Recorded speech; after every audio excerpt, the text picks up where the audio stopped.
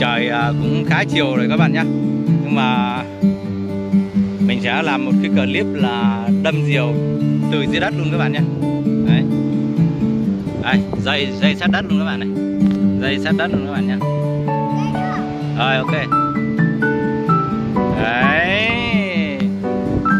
Lên luôn các bạn nha lại lần nữa nào. Không lại lần nữa đi đây này này bố đâm cho này cắm này.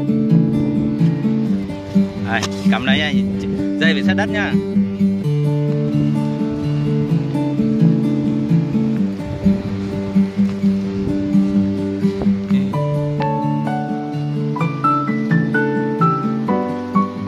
Ok.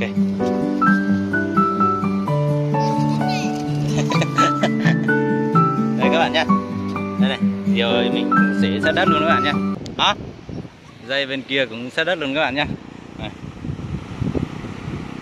đấy mình mình cắm xuống đây này đây. Các bạn nhé mình hất cái đầu đây này. Lên luôn các bạn này. Chỉ thả ra một phát là diều lên luôn các bạn nhé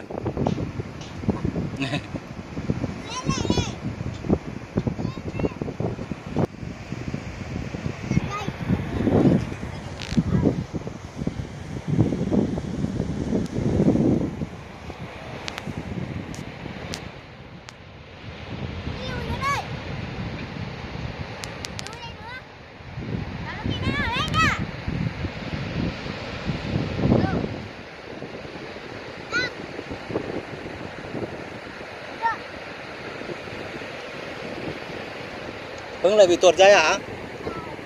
Cầm chắc đi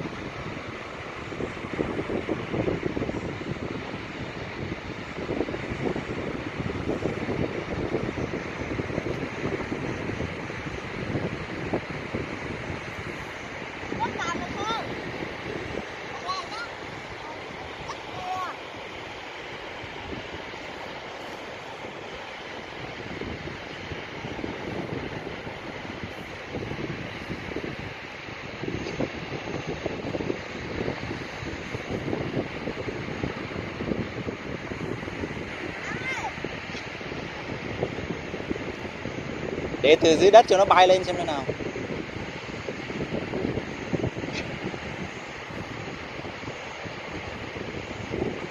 Ngồi xuống bên kia nó chia cái diều.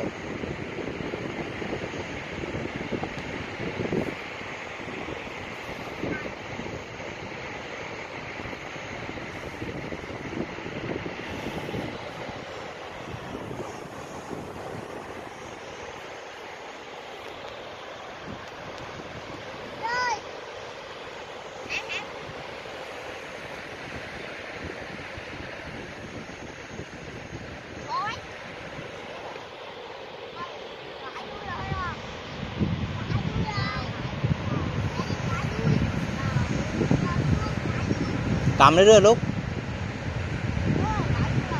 Gãy đuôi này hả?